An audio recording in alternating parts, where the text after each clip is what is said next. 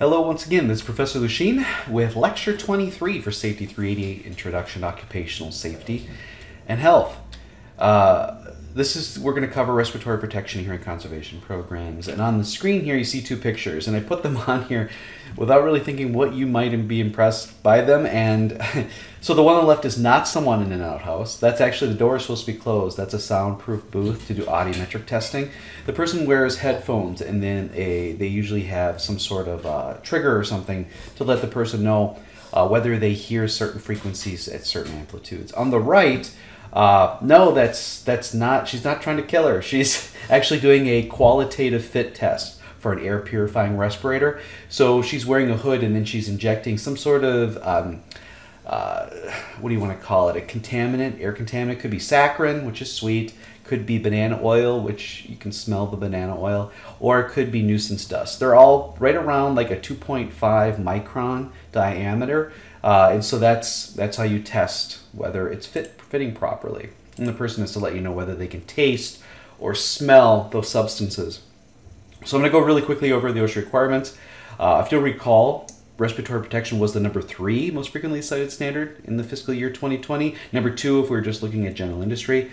Uh, but hearing conservation is also a very common um, concern and program that companies must have, and that's cited a lot too. Um, it, I mean, the thing is, we talked about in the previous two lectures, we talked about health standards, we talked about chemical safety and training, we talked about industrial hygiene and other forms of health hazards. And so, for respiratory protection hearing conservation, you really need a certified industrial hygienist to assess what the worker exposure is. So, it's a medical record of what they're exposed to at work. Therefore, you select the proper PPE to protect the workers. Recalling that personal protective equipment is actually the lowest form of protection. Um, it'd be better if you could engineer it out or replace it with something else. So, respiratory disease is a fairly common thing in the US population, whether it's actual uh, lung damage that can occur through life choices um, or actual you know, damage that can be done by exposures at work. The thing is, we can't breathe we die. Uh, and so it's really important that we keep our lungs as healthy as possible, therefore, protect our lungs from airborne contaminants that can uh, damage, destroy. Um, as you can see um, on the bottom here, I've got some numbers as far as how much it costs, you know, overall. So the primary concerns with lung disease are lung cancer. So silico, silica can cause silicosis, asbestos can, can cause asbestosis. Uh, but you can also develop uh, chemical-induced uh, asthma, in which the bronchioles react to certain chemical. You get sensitized to it. There is COPD, and there's also then lung disease, and you can see how they kind of lay out there that um, yeah, things that you get exposed to at work can actually cause you, you know, a permanent uh, disability, lung damage.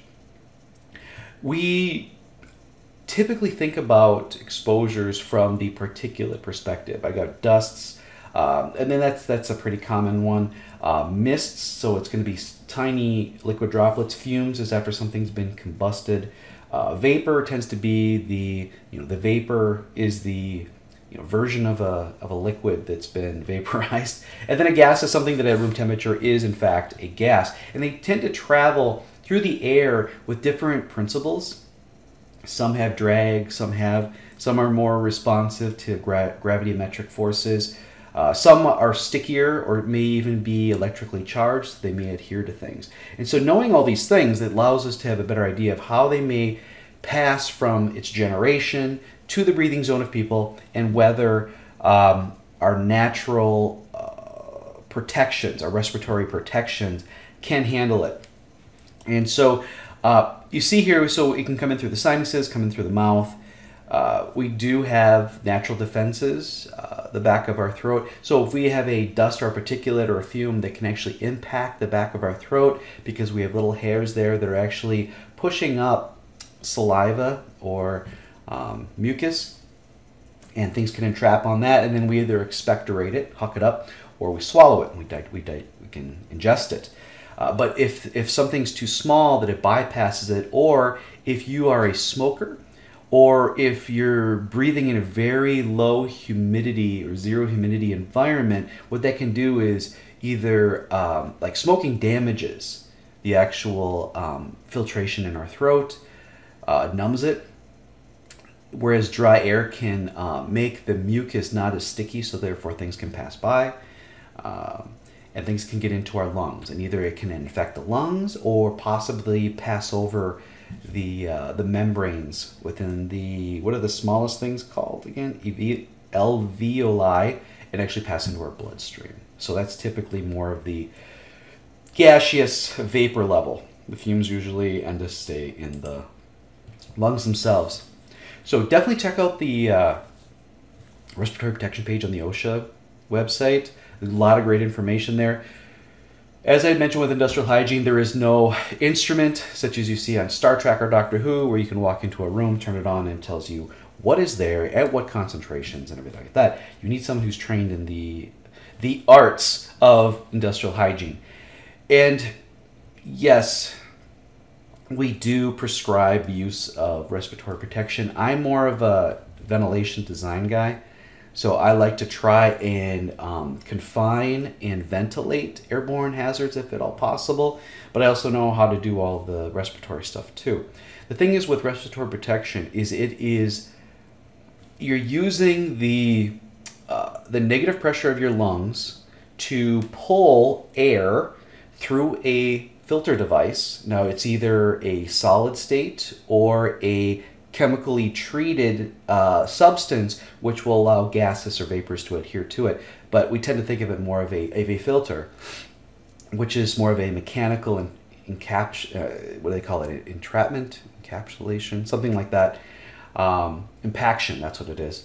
In order to prevent those things from getting to you know our mouth and into our lungs. So it's putting extra resistance to our respiratory system Therefore, that also increases the stress on our cardiovascular system. So, if you have a pre existing cardiovascular condition, it can exacerbate it or trigger some sort of um, disease like response, which can be dangerous. So, if you're going to be required to wear a respirator, and I, what I like to say, call it is an air purifying respirator, APR, uh, you have to go get tested uh, you go to the doctor, you fill a survey, they do a pulmonary function test, which you're going to be able to watch a video on. It's not fun. Uh, basically, you, you blow into a tube, so what they're doing is they're assessing your uh, lung capacity and your ability to um, basically, you know, exhale. Do, you, do, do the lungs have the capacity and the strength to handle that kind of stress? Because typically, when you're wearing these masks, you're doing other work. So you're also being um, uh, physical, laborious while you're wearing these things, and that is hurting, affecting your breathing. So when all this stuff came out with the use of face masks, we're like, oh, I can't breathe. Dude, people have been wearing respirators for a long time, and you have to be tested for it, and there's there's things you can do. Um, and there's a lot to training the worker on the limitations of it how to care for it, clean it, store it properly, how to wear it, make sure that it's fitting properly. Because a respirator must have a seal. So I would not be able to wear a respirator or purifying respirator because I've got a beard.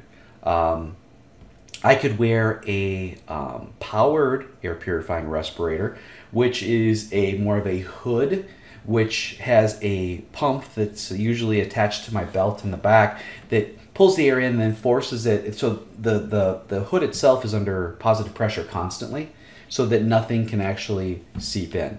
And sometimes you see those on the news. You'll see uh, emergency room um, workers wearing a almost either it almost looks like a, a scuba mask, almost full face mask, and they've got tubes going down the back. Those are powered air purifying respirators. The filters are actually on the pump itself. Um, but you've probably also seen people wear airlines, which is a full face respirator, which a line goes to uh, an air pump or compressor, but not it's not a typical pr- pr- compressor your dad has in your in their garage uh, it's a special kind. Uh, or an SCBA, self-contained breathing apparatus. Not underwater, uh, but that you, you, see like firefighters. What they're doing is you're bringing your own breathable atmosphere with you, so you're not relying on the breathable atmosphere. So that's why you have to assess the air or the environment that people are going to be in, as far as do do they have to be supplied with breathable air, or can they filter the air that's in their environment? And yeah, I think I covered all that stuff. so I talked about confinement and ventilation. That's the best way to go. It's difficult. Um, I mean, as an engineer, I, I can do the calculations because I can study or create simulations of how um, the whatever I'm studying, whatever air contaminant I'm studying, how it migrates through the air. It's it's either resistance or um, how it uh, travels through um, airflow and how it can be captured and removed. It's not it's not that simple.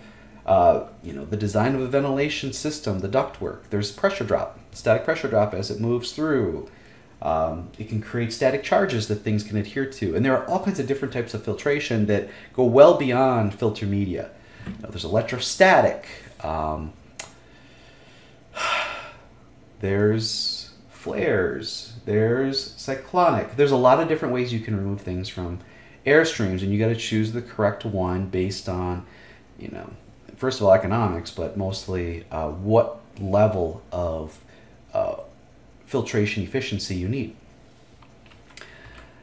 So let's talk a little bit about face coverings versus respirators. What's interesting is on this week's reflection assignment, I uh, I have a question that I've had for several years. So years before the pandemic, uh, do face masks are they respirators?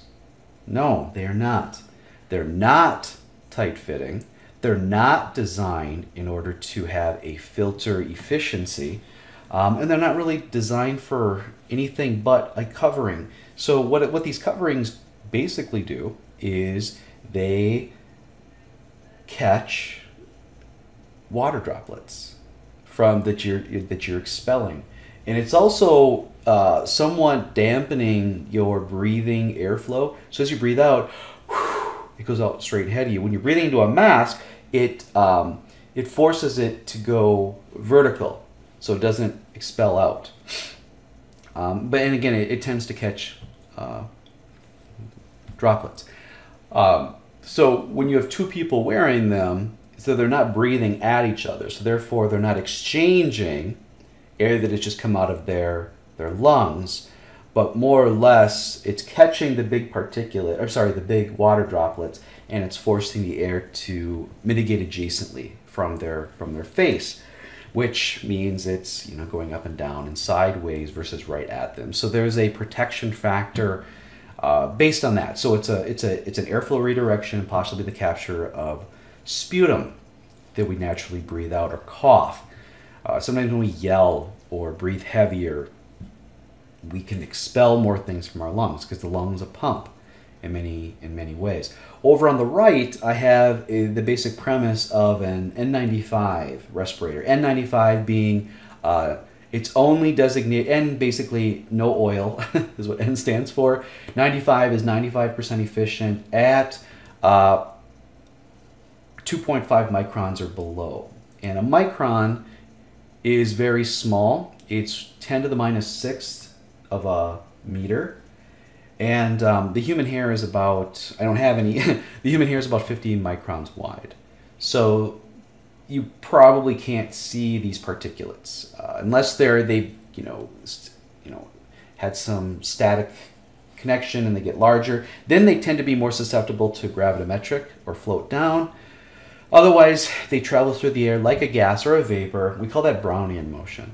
Uh, it's kind of just, it's a sort of a random um, and then therefore, when you apply a cross airflow, um, it will grab and be migrated towards it. So face coverings are not respirators, not at all, but they do serve a purpose in protecting each other from our own um, exhalation of air.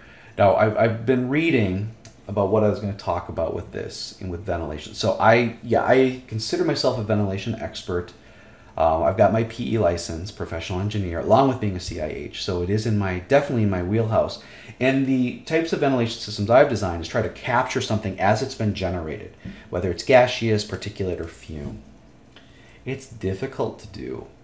It really is difficult because you have to have something called capture velocity, which um, isn't general room ventilation at all. It's it's it's focused. It's like you know point and it has to be able to the airflow that you're generating towards that point it actually has to pass through. First of all, it has to pass through it, and once it gets into there, is it enough to draw it in so that it can be expelled from the room or the environment or whatever? General room ventilation is for heating and cooling and humidification control. If anything, it's meant for the mitigation of carbon dioxide, which is what we expel. So when I read these experts saying, oh, you know, we need special filters and uh, we need really good room ventilation, I, I'm not buying it. Um, it's and, and, the pictures they draw is well if you're upstream and and somebody downstream is sick it won't travel back to you agreed but how many rooms are perfectly designed so it has 100 com- you know 100% complete air exchange every few minutes? I mean i i, I studied flammable liquid storage rooms and those do an okay job. And those are specifically designed for the for the capture and removal of flammable liquids. I've studied spray booths, and again, general human movement and obstructions create air current eddies, and those eddies capture things and they redistribute contaminants. So when people tell me, "Oh, we just need these MERV 13 filters and to increase airflow in a room," I'm not buying it. And that's my professional opinion. I'm going to get off my soapbox. I could talk for hours. So there are different forms of respiratory protection. I really could have gone on and on for a long time. What we have here is at the, the top. You see the purple? Purple is de- designated to any particulate. You can see here down on the bottom. It, it, there's that's the NIOSH. NIOSH certifies respirators and the cartridges. So we have a half face and we have a full face. Uh, full face has a better protection factor, better seal. It also protects the eyes um, along with the, the respiratory. So you use those for higher protection. It's also more claustrophobic and there are other issues. And so half face is probably the more common that you'll see. So you have to know when to change out these cartridges. You have to choose the cartridges correctly to protect you from the air contaminants. And that requires a certified industrial hygienist.